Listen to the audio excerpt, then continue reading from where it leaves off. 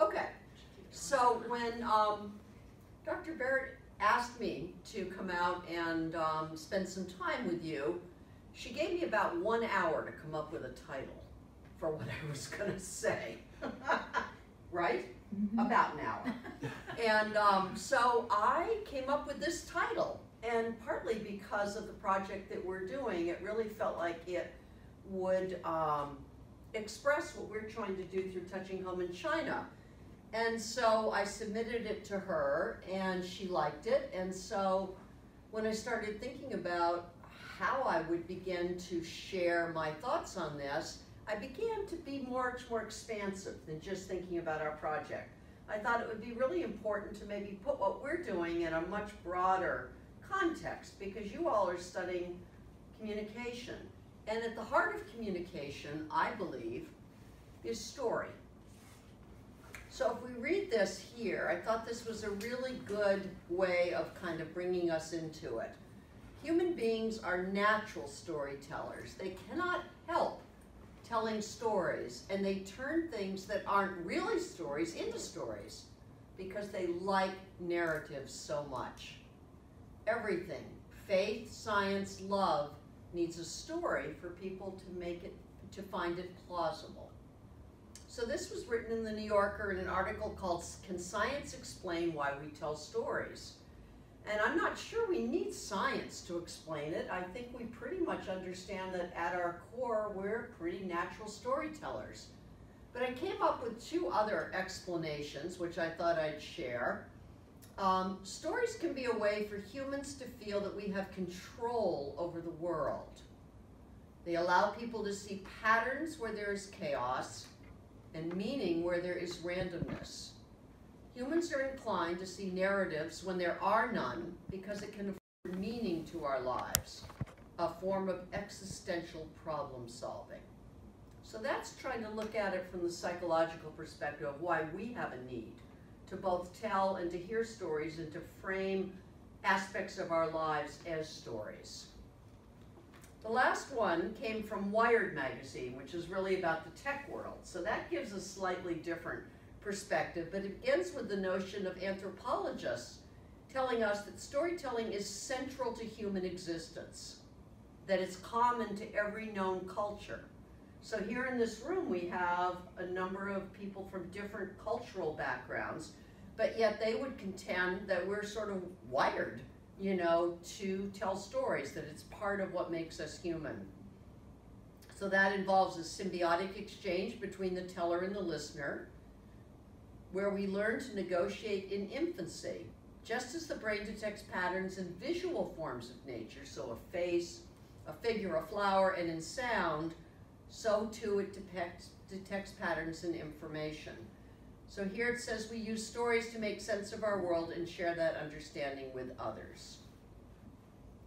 So, here are hieroglyphics, going back to obviously Egypt and the pyramids. And here is the way that people have come to understand what these symbols mean. So in these symbols, there was an effort to tell a story. And that story would often be uh, revolving around the life of the person who was entombed in that area.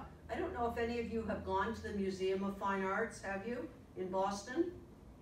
If you do, they have an incredible exhibit of Egyptian hieroglyphics. They have a lot of some of the tombs, the stone tombs in which people were buried.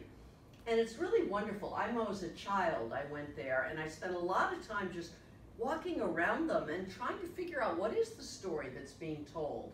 Not that I had at the time this little language thing next to me, but you still can begin to discern, you know, characters and symbols and meaning. But the notion is that they wanted to preserve a story of a life just as they were preserving the body inside the tomb. So here's the cave dwellers. Now I don't have a breakdown of the symbols and what they mean here. But I don't think it takes us much to sort of begin to look at this and realize that there's a story being told in these characters. Probably if each of us looked at this, we'd come up with a slightly different story. But um, nevertheless, There are discernible figures, there's discernible animals, there's some form of action that's taking place. So again, we're telling a story. Okay, so now we're going to talk about story, and remember in some of those, we talked about the notion of sound as being a way to tell story. So I'm going to play for a moment um, this story, which is really told through a song and a spiritual. So here we go. I think. I think that this is going to go. Where's the sound? So Janice, help me out here. Mm, Oh, here. Gosh. Okay. Oh, that's bizarre. I I don't think we know can where do it it. is. Oh, no. All right, well, we do need the sound for later on, so I'm just gonna let it go and we'll see if we can find the sound, because I have this plugged in. Oh, Here it is. Oh, Okay. Great. okay. Okay. What, where'd it go? We just had it. Can't plow straight and keep Yeah, looking okay. back. Keep your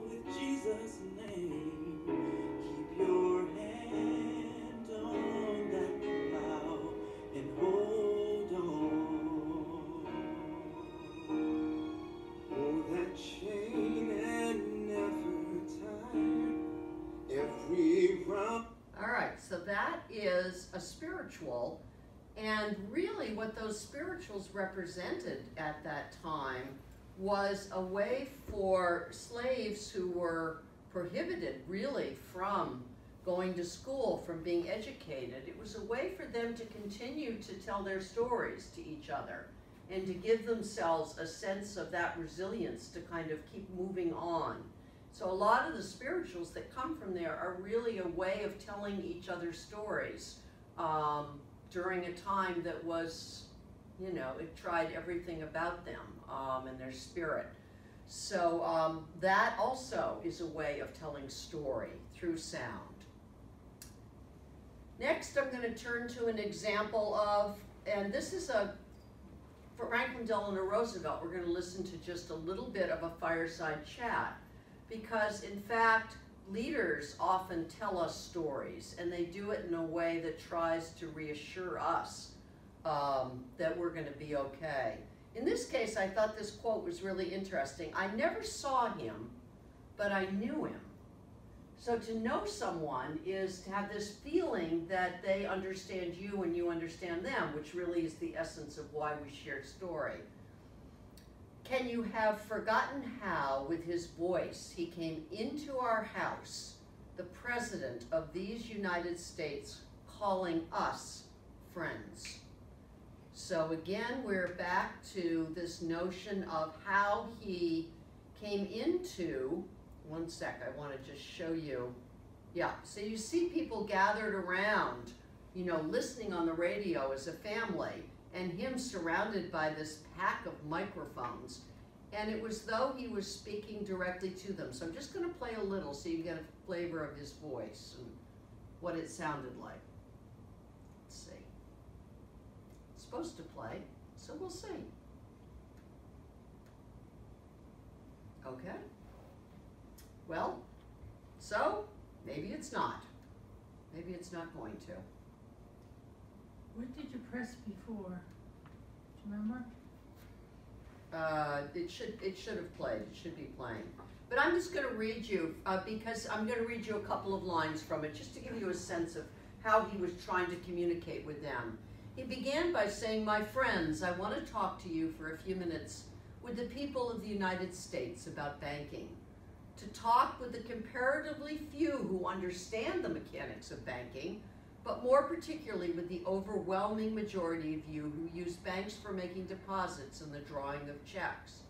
So he's really beginning to invite everyone into this conversation as he comes into it. And he just begins by making it very simple and very, very simple language. First of all, let me state the simple fact that when you deposit money in a bank, the bank does not put that money into a safe deposit vault. So what he's beginning to do, and I would encourage you to go and listen online to this, he begins the story of what happens to your money as you put it in. So he's not just telling you about some policy that he's declaring. He's inviting you into it by telling you a story of what happens to your money when it goes into a bank. And those, those exchanges that happened with him were ones that really, in many ways, people argue was what kept America going during what was then the Great Depression. Um, and those fireside chats, and that's what they were called this notion of gathering around a fireside and, and sharing story. I'm going to now go to a slide that shows what's the probably the most challenging, probably human story of our time, and that is the mass migration of refugees. And this is showing you a photograph of refugees that are just literally marching from a place they knew that they feel they need to leave to a place they don't know, and where they know when they get there, the only thing they know is they're going to be strangers. They're going to be foreigners. So, how is it that they're going to be able to tell their story, and who's going to do that for them? What I want to do is show you now a quick video clip that was done by. Has anyone heard of the um, the then Chinese artist An Weiwei? An Weiwei? Ai Weiwei. Ai Weiwei. Thank you, Maya.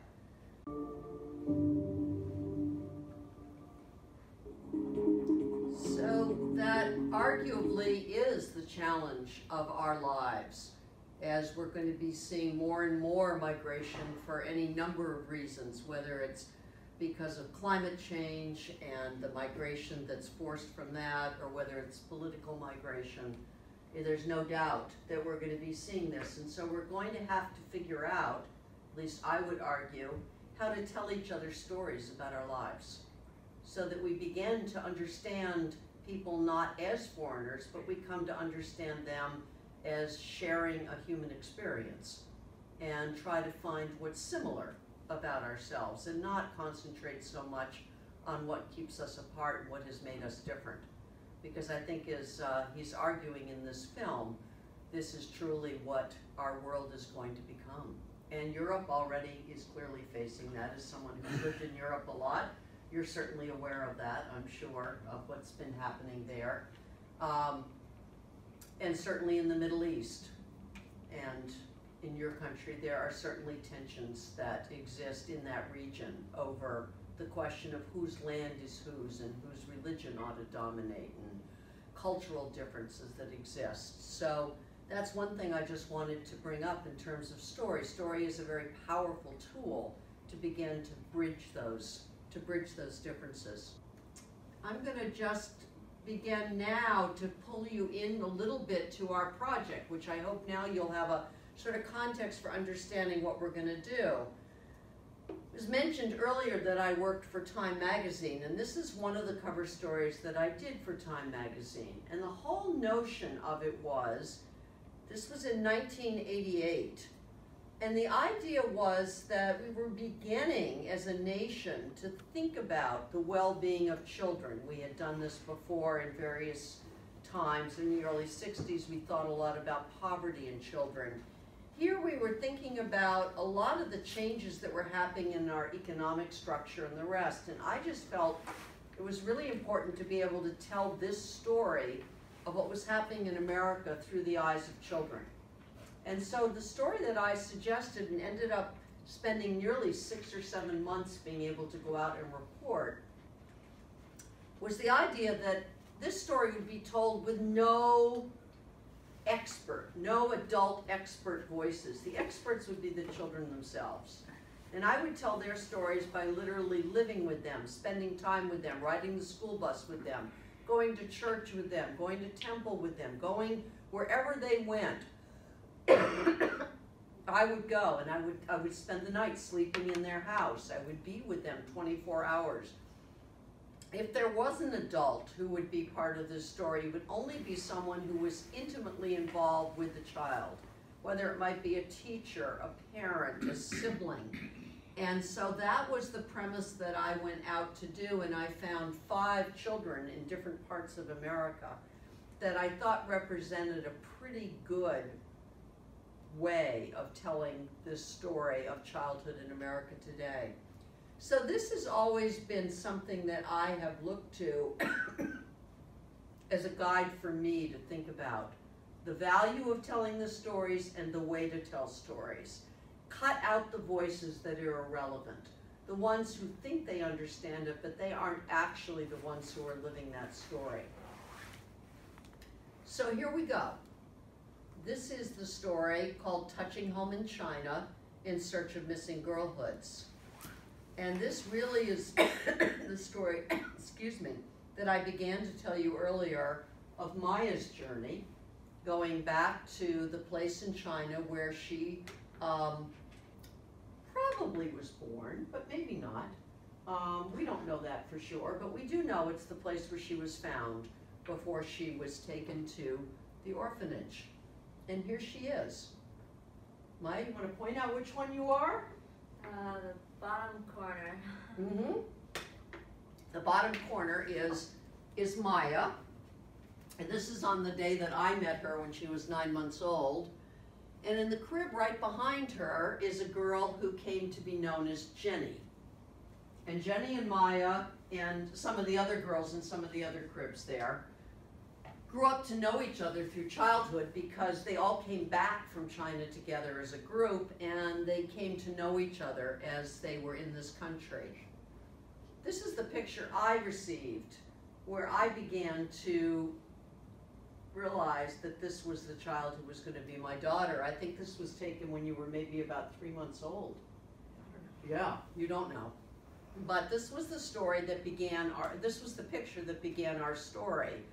And you can imagine that just receiving this visual image, and it would be another five or six months until I'd be able to go to China to adopt her, that I began to create, you know, a sense of story about what our lives would be together. There she is, home, and that was at a welcoming party that we had for her when she arrived. Okay, so here goes our story where we're talking about going back to China. This was when you were seven? I think you were seven, yeah. And um, we went back, and at the very end of our trip, we went and did sort of the homeland trip. We went to Beijing and saw all of the monuments, and we went to Shanghai, we went to the major cities. And then at the very, very end, we went back to the city where Maya was in her orphanage, Changzhou. And then one day we came out to the town that was part of her records. And I have to say, uh, you can speak if you like, Maya, but this was not an enjoyable day for you, I don't think. This was your mother's idea more than yours. Is that fair to say? I think so, yeah. And Maya did not yet speak Chinese, and she was really, I think, too young to have the ex- experience. But this experience of just being there in her town for this day, and you can see the number of people just turning to stare at us. Um, and we left very quickly after that. Um, this led to me when she was 16 years old suggesting that maybe now that she'd studied Chinese and done Chinese dance and maybe it was time if she wanted to to go um, to go back and to meet the girls and to set up this trip that we eventually that she eventually did. And to my delight, partly surprised, she said yes. And so she and Jenny went back. So these are, why am I showing you this picture? Because these are the storytellers that help us to tell this story. Um, this is a woman who became the videographer for the trip. Her name is Jocelyn Ford, and she had been a storyteller for National Public Radio. She had been with Marketplace, which is a business show, in Beijing for 13 years and spoke Mandarin fluently. Wow. And she also had left that job to do a documentary, and so she became our videographer.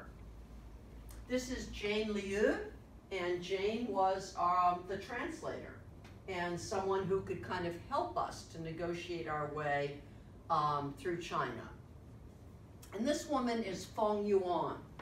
And Feng Yuan is someone who I had met at Harvard. And here's Feng Yuan on the front page of the New York Times. Feng Yuan left journalism because she felt it wasn't a way to really begin to tell the story of what was happening with women in China.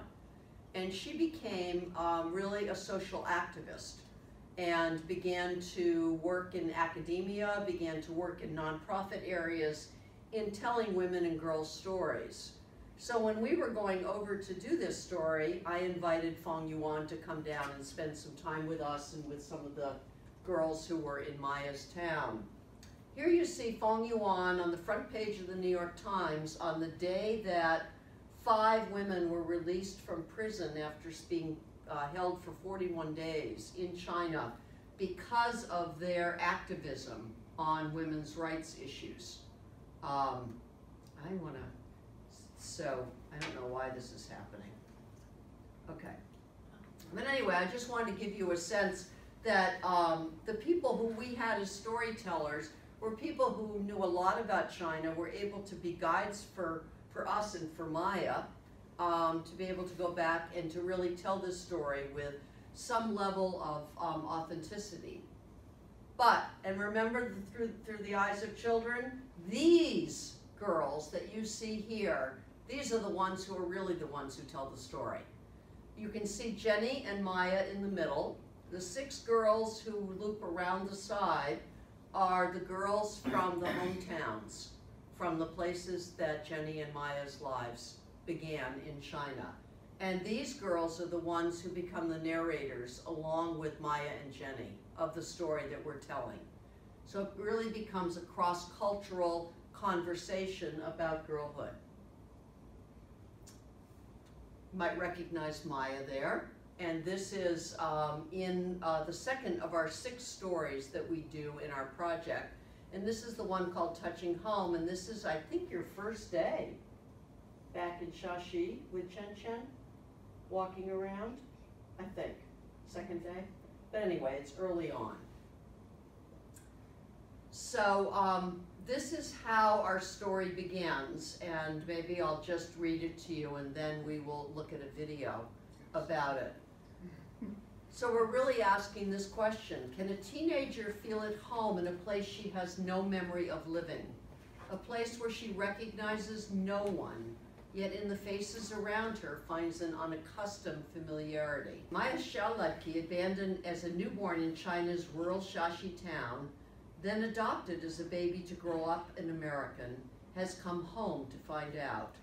Though her eyes, skin, and height match those of the teens she meets, subtle differences stand out in Maya's body language, posture, and stride, and in the way she weaves her silky hair into a braid she's draped over her shoulder. Then we write about a walk that she takes with Chen Chen, and now I'm going to show you a video of her encounter with these three women who recognize her as a foreigner. They've never seen her here, and they're very curious to find out who is this girl who has shown up.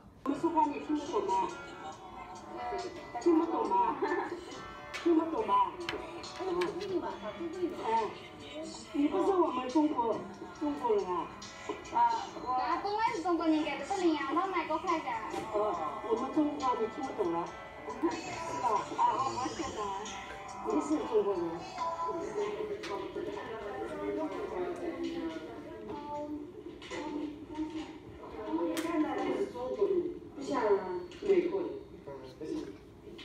就是山山系的嘛。嗯，像我们相似的，看着，嗯，一看这 在先怕女儿，像不像？有缘分吧？嗯。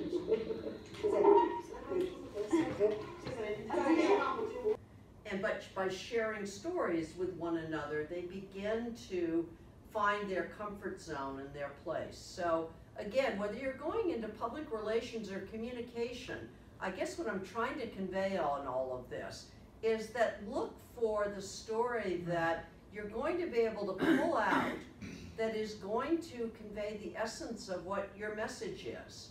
If you just try to give a message without any kind of a storyline or a narrative behind it, I think that's where you don't connect with people because there's so much bombarding people today, so much coming at them, that unless there's something that gives them a reason to care about what you're telling them, and I think arguably people care when it's about someone else and there's a reason that they should care about that person.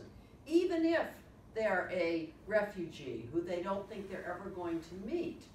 Um, but you heard the refugees in that refugee camp saying, just let us tell our story. Let us show people who we are. Let us not just be characterized from a distance in terms of being the stranger, being the foreigner, being the invader. Let us tell you who we are. Let us share our story. Did it feel like home to you? Yeah, that's that's a great question. Um, you know, can I feel at home in a place that I've never been to?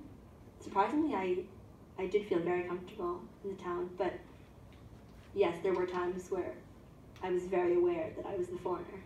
Why did you feel at home? I don't know. I connected with with seeing people who who looked like me and um, being in a place that was just so natural. There was trees and there was flowers everywhere, and I mean everyone that I met was so kind and welcoming. Um, there was people that I would, you know, just pass by on the street and they'd say, "Oh," they'd want to get to know me or help me in finding relatives. Let me ask you something else. It's easy to assume that when you come from an affluent Western country and you go to rural China, that you are unwittingly um, transmitting to these Chinese girls who are not given up for adoption how well you've done because you grew up in so-called wealthy America. I know that wasn't your intent. How did you deal with that perception if you faced it? Yeah, that that question definitely came up a lot. I was often told, "Yeah, you're so lucky. Everything's perfect." You know, in some ways, yes, I am extremely lucky. Um, you know, I am in college now. I can see my, my future ahead of me, but at the same time, it, it did kind of, you know, hit me in, in the wrong way. Just hearing that I was always so lucky and everything was perfect. Um, because you know, I think there are parts of my life where I do struggle and where America, you know, isn't isn't always, you know, what they believe it to be. But for this trip, it really wasn't about, you know, me coming in as this um, like tourist on a high horse. It was it was really about getting to know them on a very, you know, human personal level. Um, as, you know, teenage girls just the same. It was such a raw experience where I was learning from them. Okay. So Maya, I think that I'm gonna ask you if you would, and I think you said, well, I show pictures of what Shashi looked like. So you get a sense of the flowers and sort of the beauty and the green that she saw there. Um, would you read your essay that you wrote when you came back? I think I have a copy of it. Yeah, here. I forgot about that interview. You forgot about what? That interview. Oh, well, what did you think of it? I never heard it before. Okay. Here you go. All right. So there you go. Okay, so why don't you stand up and read it and, or I'll sit down? I'll Yep. sit. Okay. Um, so yeah, I guess I will start by saying I wrote this back in high school. It was I wrote it and used it as my entrance essay. Um, so it's been a while since I've seen this, but I wanted to read it because I think it's a really good kind of concise way that I've thought about the trip and looked back on it, and I wrote it right after coming back, so it brings me back to that mindset. The first nine months of my life are a mystery. A tiny jade bracelet and a photograph of an inexplicably circular face on top of a torn red sweater make up my memory album. A few stapled pages of ambiguous papers constitute my birth record. I do know that I was found in Shashi, a farming town of flowers and trees. Though I was nervous about shattering the stable but fragile image I had created in my mind about those nine months, this past August I went to Shashi and began to crack through that tableau and experience what my life could have been. There, I met the girls I could have grown up with, and with them visit the places where I would have spent each day. I was overwhelmed by simultaneous feelings of deep connection and unbridgeable distance. As we struggled to narrow the chasms created by language and culture, I found familiarity in their faces and the trees enveloping us. So, what are you? The girls asked me. You look Chinese on the outside, but you're American on the inside. At first, I detested this description. If the substance of my being is not Chinese, I might as well be white. Once content with describing myself as Chinese American, now I was hit with its vagueness. Where do I belong between being Chinese and becoming American? In some ways, my new friends were right. Our many fragmented conversations during the three weeks we were together affirmed the differences in how our minds have developed to perceive the world. You are so lucky you have no discipline, easy school, and freedom which International girls would say with certainty and envy. All we get to do is study. I felt guilty about my luck and the truth in their words. Still, their idealistic views about America and the ease of life perplexed me. They had quickly dismissed my out-of-school activities and community service as lacking real learning. Yet, soon I realized how their understanding of smart contrasts with mine. Being smart is the high ranking a teacher gives them. Studying is their only way of getting there. These tight borders command a childhood. I permeated these borders as we talked about growing up, gender roles, equality, and relationships. No one before had given them the space to talk about such topics. As a girl born in Shashi and living in America, I was the most foreign person the girls had ever met. They never come in contact with anyone who looked different than they do. When I told them about the friends I have who look different than I do, they were astonished. Being with them gave me a deeper appreciation for the diversity that my life in America gives me. For those I met in Shashi, family is blood and ancestry. You not know your real parents, strangers would ask me soon after we met, sympathetic and eager to help me find mine. When is your birthday? What orphanage are you from? To me, their words, real mother, sit heavy in my mind. Even if I'd spoken their dialect fluently, I'm not sure I could have explained. I have a real mother, who raised me and loves me. My biological family might not be whom I romanticize them to be, and finding such strangers would not instantly conjure love. Instead, it was in the welcoming care that countless strangers showed me, in placing watermelon slices in both my hands, pulling a comb through my hair, and attempting to cool me in 110 degree heat, that I found home in Shashi, and that was enough. So, That's it. Lovely, Yeah. very nice. Isn't that beautifully written? so, um, interestingly, I think Maya just mentioned to you that, um, one of the great differences that she discovered was when the girls talked as teenagers about what it was like to be in school and what their lives, what was, what were the expectations of them. I think as many of you realize, not only are you students coming from foreign countries to study in America, but a number of students are now coming from China to do that in America. And for them, there's one experience in particular that's really challenging because it's something they've never been asked to do before, and that is to write what Maya just read to you, a personal essay. This is not something that they're ever asked to do in their school, it's more learning what the teacher tells them and being sure that they get it right on the test when they give it back. And so with the advent of coming to Western schools and the expectation that they must do this kind of essay, there's a lot of tutors making a lot of money over there, teaching them how to do it. But one of the things that the New York Times did in China was to publish some essays that were submitted by the Chinese students because this is such a new thing for them. And Maya's essay, which got shared with them, is the only one that they published from an American student here as part of their, um, essay thing, and they, they did it in Mandarin and in English. So I just wanted to kind of share that to talk about what Maya just mentioned. Congratulations, Maya. So that That's was quite quite an an accomplishment. accomplishment. I should add that I, I don't mean to, you know, glorify this education system that we have here. No. Because I think that there's many, many deep-rooted problems with it, especially in early education. Mhm. Um, but just a reflection upon differences in how, especially in higher level education, I saw differences in style of education. Right, and that's the thing that I would really like to point out because I'm gonna open it up for questions in just a moment. But if you do have an interest in our project, I think one of the most interesting stories that you might wanna look at is the learning about learning Mhm. one that we do, and for exactly the reason that Maya is, um, you know, bringing up here. Because, and you'll see here that we have six stories, and learning about learning is our fourth one. And in that, what we do is really walk through what the girls learned from each other about their schooling.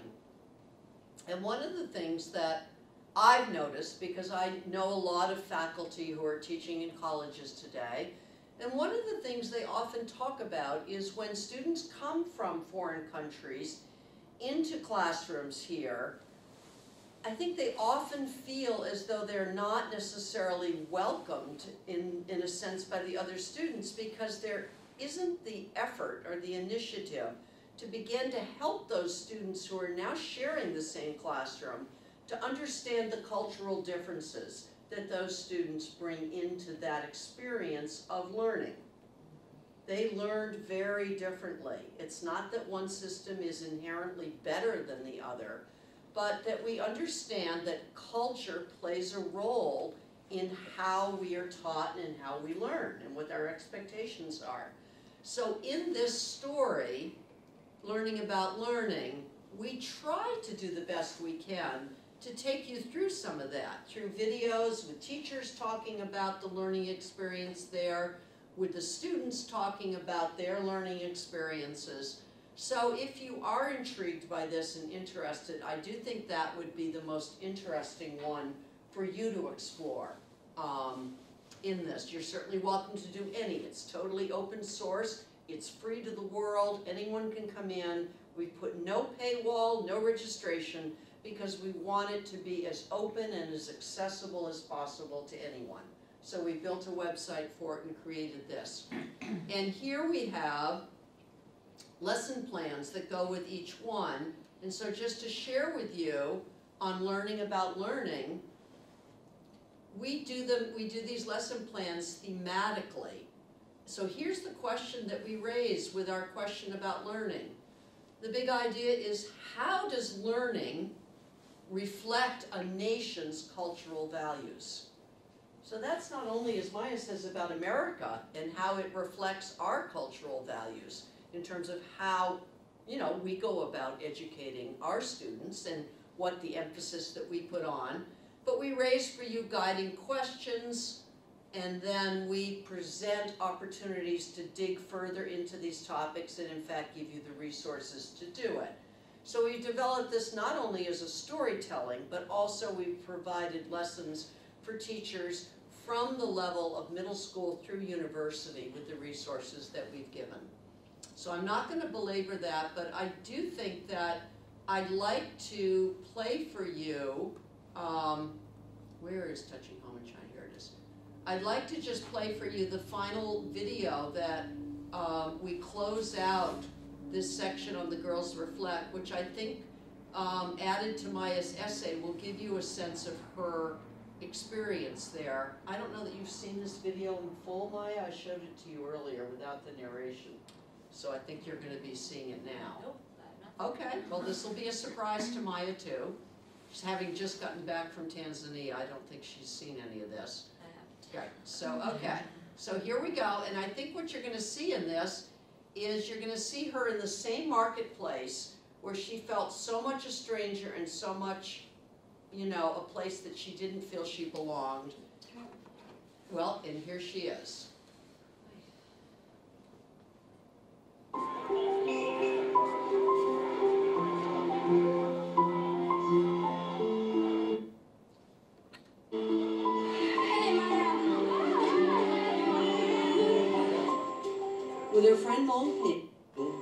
Feels at home in Shashi's market, recording memories of a visit she will never forget. When she was seven, I brought her here. People stared at us and Maya wanted to go. Now she's back, feeling at ease.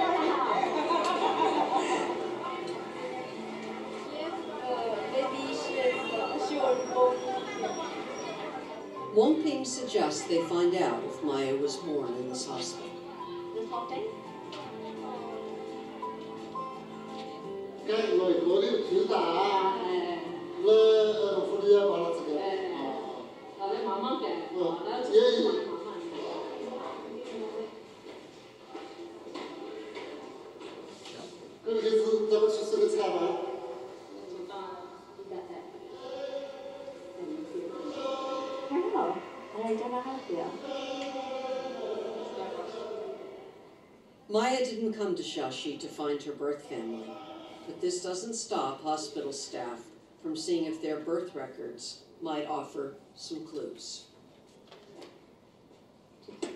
九七年才有的。九月三号有多少个出生的？那个当天整个去好了。可能过过几天都会有的，就是说就是那个不详的，可能我们就就。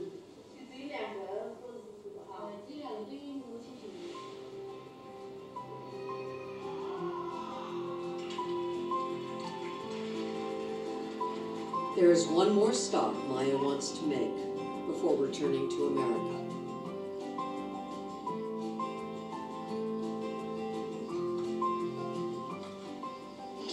Bringing back dirt, you know, from the land where where I'm born.